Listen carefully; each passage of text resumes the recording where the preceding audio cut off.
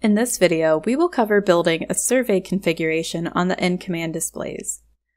A surveying configuration lets you record soil elevation data for topography maps and installing tile.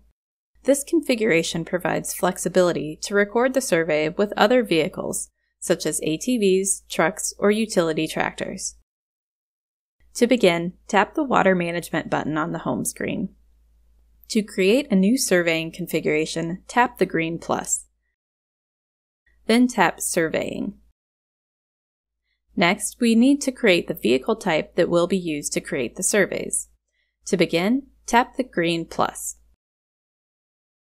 Specify the vehicle type by tapping the dropdown. For this example, we will select an ATV as our survey vehicle.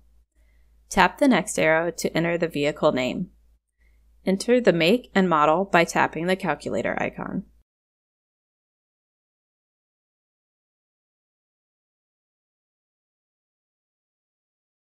When finished, tap the next arrow.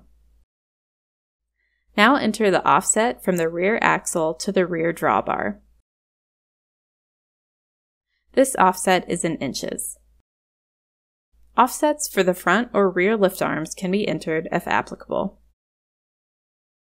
Tap the next arrow to review the vehicle name or make edits. Once finished, tap the green check to return to the vehicle page. Our new ATV vehicle should be selected. Now we need to enter the antenna offsets to ensure the survey will accurately record the elevation data. To do this, tap the wrench. In the Antenna tab, tap the calculator on each offset field to enter each measurement.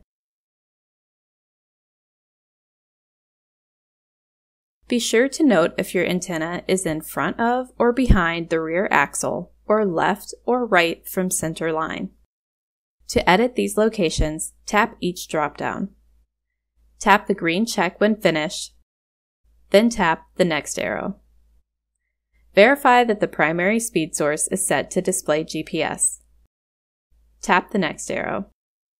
Review the configuration name, then tap the green check to finish. There are no further settings to enter, so we can tap the green check to return to the Operating Configuration selection screen. Before starting a survey, be sure you are using an RTK correction source from a local base station. This will ensure accuracy when tile is later installed. You are now ready to record survey lines that can later be utilized with IntelliSlope to install tile. For more information regarding other IntelliSlope functions, please refer to the feature user guide on the Ag Leader knowledge base.